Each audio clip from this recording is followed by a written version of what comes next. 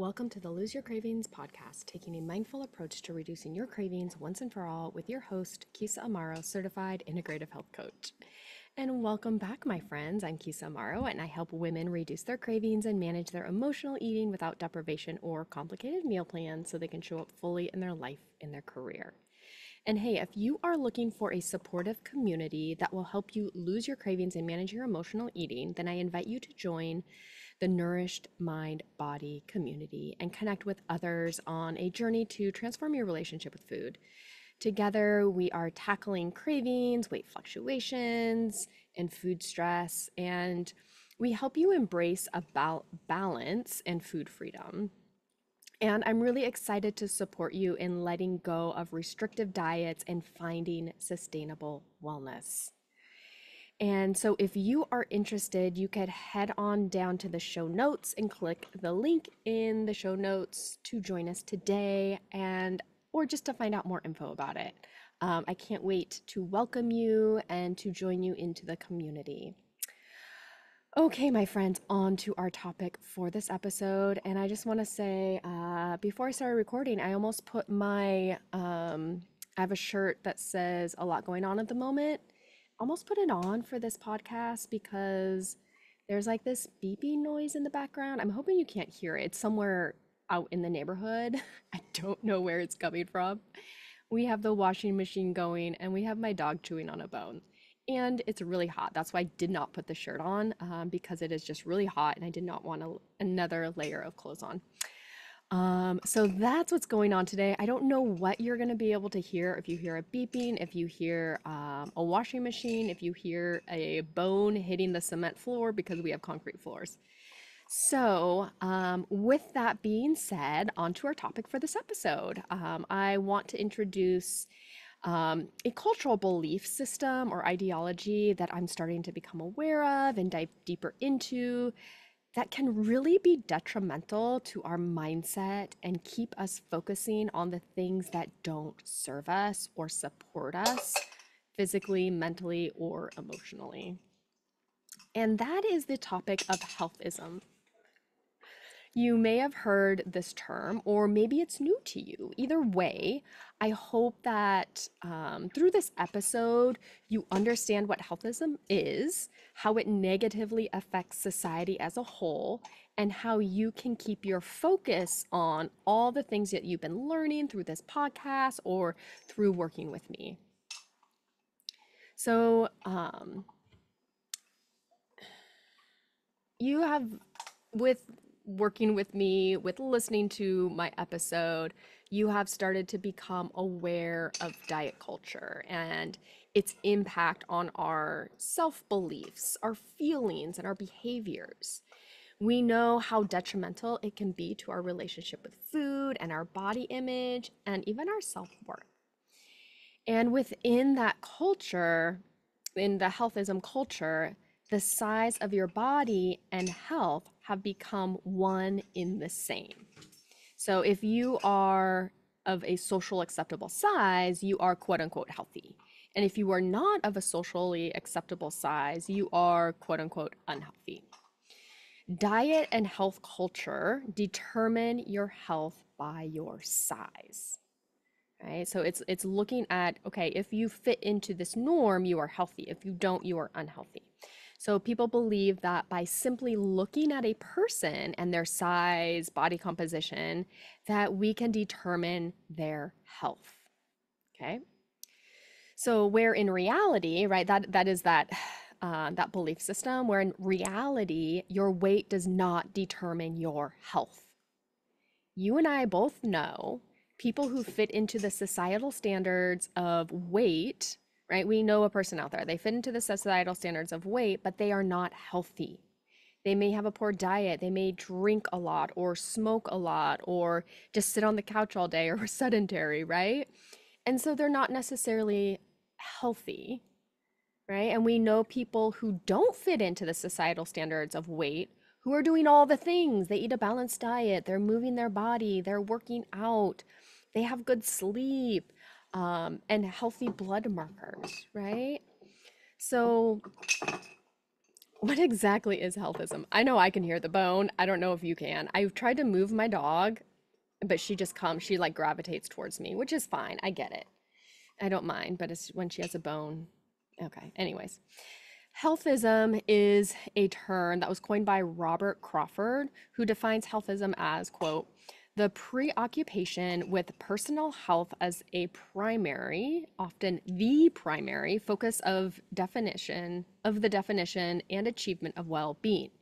A goal which is to be obtained primarily through the modification of lifestyles. End quote. Okay, so let's let's kind of like deconstruct this and talk about this. So healthism often emphasizes personal responsibility for one's health suggesting that individuals have significant control over their well being through lifestyle choices such as diet, exercise, and avoidance of risky behaviors. And healthism places people's health as solely in their control. Like they are 100% completely control of their health. And it forgets to take into consideration their access right? Access to things like fresh fruit and vegetables, access to clean drinking water, access to grocery stores, access to a kitchen to cook food, access to quality medical care, or access to a gym or a safe neighborhood to walk around. For example, rather than making sure everyone has access to fresh fruits and veggies, healthism shames people for not eating enough fruit and veggies. It neglects to consider whether a person can afford to eat these foods and whether they have access to a market or store that, sh- that sells fresh produce. So, I want to talk about a few things um, that you can start to notice about healthism, how to kind of like define it and look at it and notice it and how it impacts our society and you as a person, right? How you are within this societal um, ideology. So, number one, healthism is individualistic, right? Healthism does not take into consideration st- social determinants of health. So, some of these social determinants are economic stability, education, and access to quality education, healthcare access and quality of healthcare, um, neighborhood and built environment, and social and community contexts. So these determinants can show how health is not solely in our hands, but there are other factors that play into our health and well being. So, for example, um, they show how our health is not just impacted by how often we go to the gym and work out, but how safe and walkable our neighborhood is. I actually have a client, and the last time we spoke, she was talking about how her neighborhood does not feel safe to walk in. So, how is she supposed to get out and go for a walk when she doesn't feel safe? Right? She doesn't feel safe going out and walking by herself.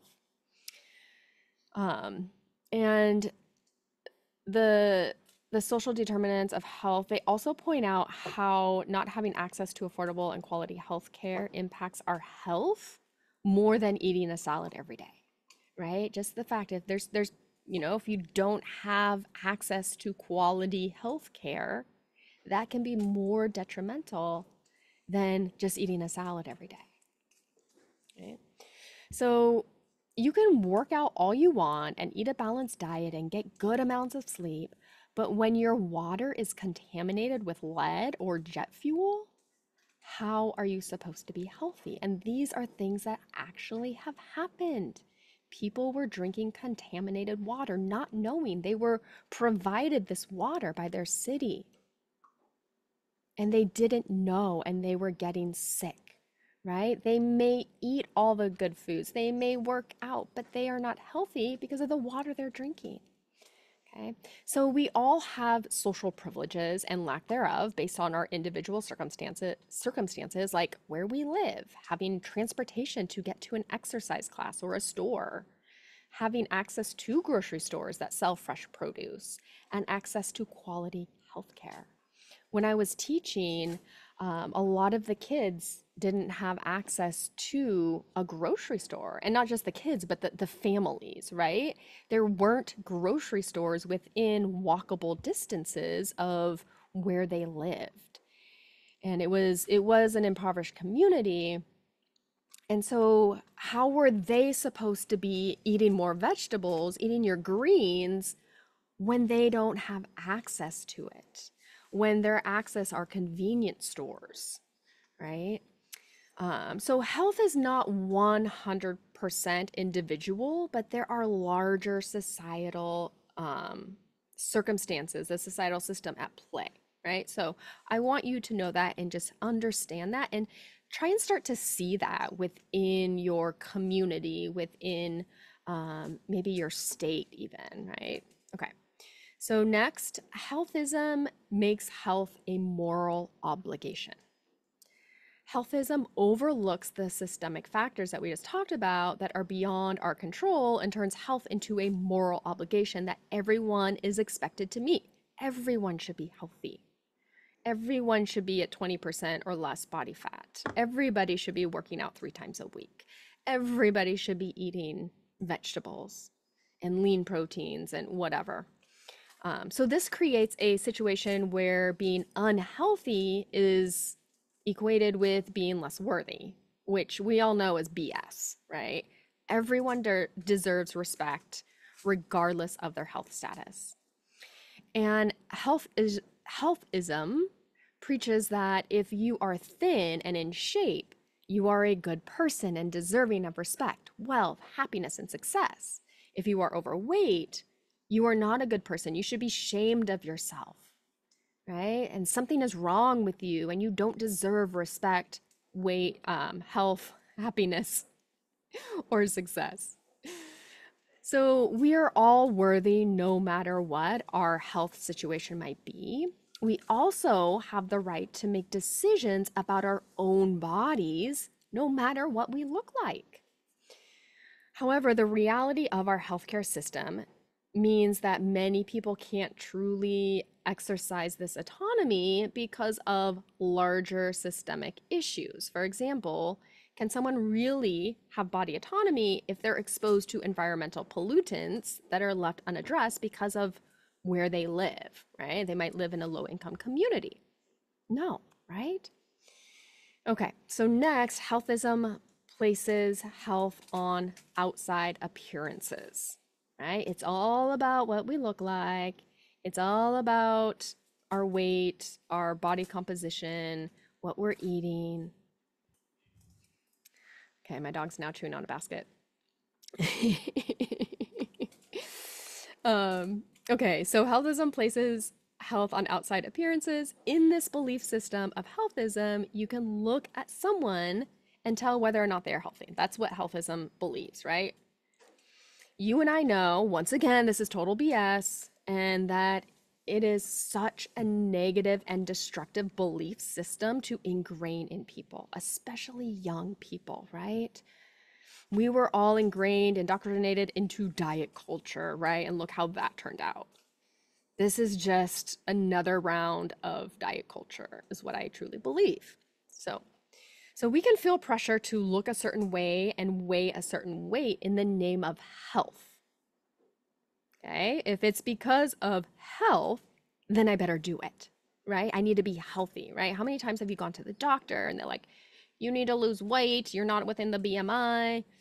And yeah, that's BS. That's total BS. And we're like, well, we, you know, like we don't know that, but we're like, yeah, I have to lose weight. My doctor told me I needed to lose weight because I'm not within the BMI, even though my blood pressure is fine, my cholesterol is fine, um, my blood sugar levels are fine. I'm exercising. I'm, you know, I'm eating greens, whatever, right? Um, so we have this pressure to look a certain way. And if we don't, we want to do something in the name of health, right? And this is everything that we have been working to get away from. Healthism frequently associates health with thinness and physical fitness. Media and wellness industries often perpetuate this ideal, suggesting that a healthy body must look a certain way.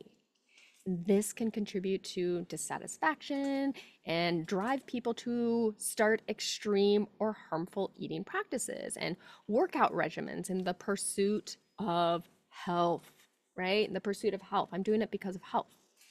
So, people who don't fit the ideal body type, they may be judged or stigmatized, which can lead to feelings of shame or worthlessness which may drive people to engage in extreme diets or extreme exercise programs as a way to conform to those societal expectations or cope with that negative self image. Healthism places a continuous emphasis on self improvement. How can we get better? How can we achieve the perfect, right? The perfect body, which can lead to an obsessive focus on weight and appearance. Now, this pressure can trigger disordered eating and over exercising, um, or disordered exercising, such as, you know, the restrictive dieting, binge eating, or purging, over exercising. So, overall, healthisms focus on individual responsibility for health combined with its promotion of ideal body types and fitness standards can contribute to body image issues and disordered eating by promoting unrealistic expectations and creating that stigma around certain body types and health conditions. Okay, we can't look at somebody and know if they are healthy or not. That's just it's it's not that way, right? Doesn't work that way. So we need to stop doing that. Okay? So, what do we do with this information? Why am I sharing all this with you? Now, I want you to start to notice where you see healthism. Where do you see it in your everyday life? On social media, in movies, in podcasts, in media, in social groups, at gyms, in yoga studios, in schools? Where do you see healthism showing up in your life? Your first step is to become aware of healthism and how it shows up in your life, right? We need to be aware of something before we can change it. Not necessarily that we are going to change healthism as a society, but that we can change our view on healthism. Maybe we have some of these views that, yeah, if you're thinner, you're healthier. We probably have this ingrained in us, and that's okay. But we need to start to take a look is that true? Do I need to be within that normal BMI in order to be healthy? Right? What constitutes healthy? Right? So, from there, you can make conscious choices and decisions based on what you know about healthism, that it isn't healthy and it excludes people not based on their individual choices, but on their societal circumstances, right? Their social circumstances. Okay. So just start to see where you see healthism in your life and in your thoughts too, your thoughts and beliefs, right? Because I really had to question some of my thoughts when go when learning about this and diving and reading more into it. And just those those societal circumstances that affect our health that we have no control over. Right? So just notice where it shows up in your life and notice your thoughts around it. Is it serving you? Is it getting you to your goal? Right? Is it helping with your relationship with food? I would say probably not. Okay, my friends, this is all I have for you today. Have a wonderful couple of weeks, and I will see you next time.